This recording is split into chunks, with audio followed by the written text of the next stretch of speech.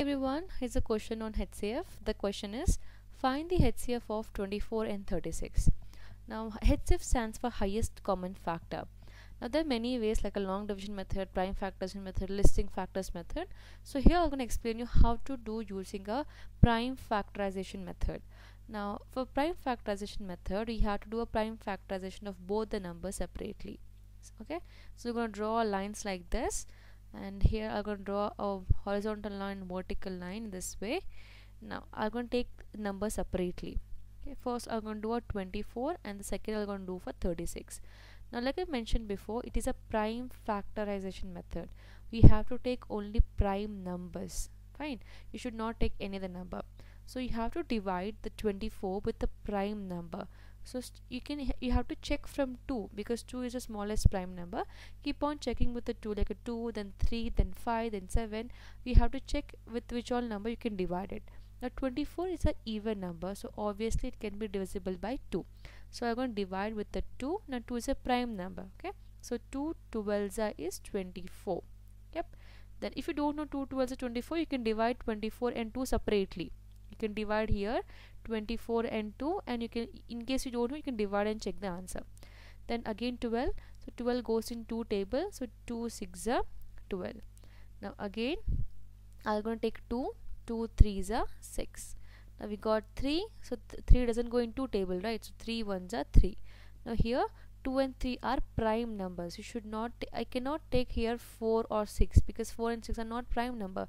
The method which we're using is a prime factorization method.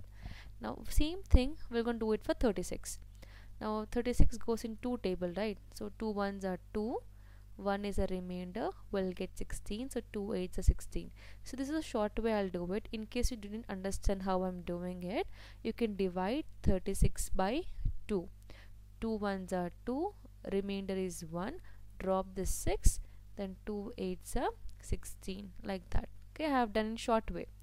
Again we got uh, 18 here. It goes in two tables so 2 9s are 18 now 9 doesn't come in two tables so next prime number is 3 so 9 goes in 3 tables so 3 3s are 9 and 3 is again a prime number so 3 1s are 3 that's it. Now once we have done this step what I'm gonna do? I'm gonna write down once again. So 24 is equal to write down all the factors what you got the prime factors. So it's a 2 into 2 into 2 into 3 yeah? Similarly for 36 also. Write down all these prime factors here. It is 2 into 2 into 3 into 3 now once we have done this is really important we have to find out the common prime factor. Like see 2 is present in this both. Yeah? So this I got one pair here. I got another 2 which is like present in both.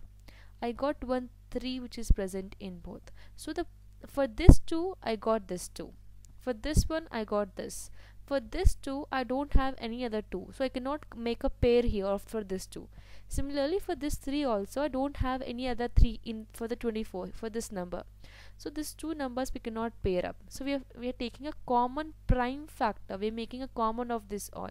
Now once we have got the pair like this you have to just multiply. So HCF of 24 and 36 will be. So this numbers from this pair you take 1 2 okay? And from this pair you take 1 2 and from this pair you take 1 3 that's it. So multiply them. 2 2s are 4 4 3s are 12 so 12 is the answer. So 12 is the highest common factor I hope this question is clear.